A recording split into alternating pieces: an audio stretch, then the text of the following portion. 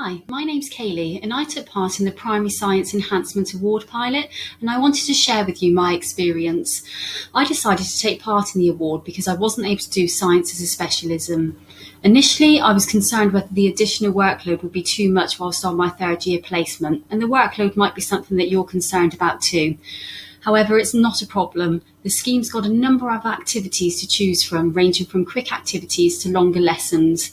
I found that there's a broad range of activities. It's really easy to find or adapt something to fit in with the school science topic. The reflections, which are used as part of your portfolio, don't take long either, but they really help your future planning and teaching practice. In my experience, I also felt that schools were more open to allowing me to adapt their curriculum because the award scheme is run by a recognised science trust, which is utilised in schools. I also believe I was allowed to teach much more science because of partaking in the award. When you're applying for jobs, schools also want to know what priority you place on continued professional development to show that you've been willing to take on additional responsibility and learning out of passion for the subject really helps in your favour and it did for myself in my job interview. All in all, I'd highly recommend this award scheme for anybody that wants to enhance their practice.